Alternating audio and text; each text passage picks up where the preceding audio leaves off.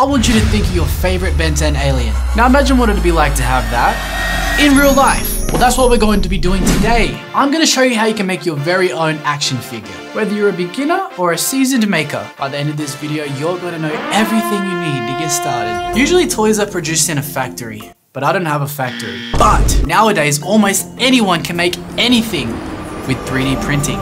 Now you may have heard of traditional FDM printing, which involves taking a model from your computer and slicing it into tiny little layer lines that you can send to your printer, which melts a plastic roll of filament and prints out your model one layer at a time. But what you may not have heard of is resin printing, which is kind of similar, but the layer lines are way smaller. This is because the liquid resin is cured one tiny little layer at a time with a UV light giving us extremely detailed prints. So that's what we're gonna be doing today. Let's quickly go over the things you're gonna need.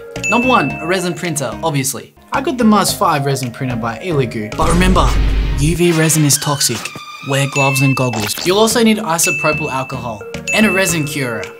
Or you could just use the sun because UV resin is cured by UV rays, which the sun produces for free. You'll also need some essential software like Blender, which is free, and Chitubox for slicing. Step 1. You need to get a model. You can either download one for free, or even purchase an articulated one, or if you're handy enough, you can make your own. There's a lot of free model sites online like Sketchfab. You'll just have to remember to convert the model from whatever format it is to STL, which 3D slicing programs read, which is very easy to do. Import it into Blender, export as STL. Now step two is to slice your model. I'm gonna drop Wildmutt into Lychee Slicer and scale him to size. I'm using Lychee Slicer because it has this really handy magic tool that will automatically orient your model and automatically add supports. But I'm also going to add some manual supports just to be safe. Now if we're happy with the results, we can hit slice and send it to the printer.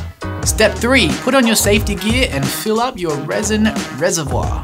That's a tongue twister. Now import the model and hit print. Once it's finished, remove it from the build plate and give it a wash with isopropyl alcohol.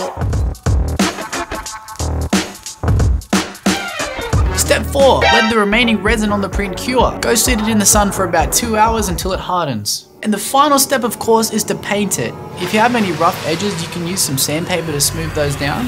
And you can even use some filler primer if you need to. I'm gonna hit this entire thing with a spray paint coat of orange, and then I'm gonna hand paint the rest of the details like the claws, the omnitrix, and the teeth. And there you have it, your very own 3D printed alien. In the next video, I'm gonna show you how to make your very own Race Against Time Omnitrix, so stick around.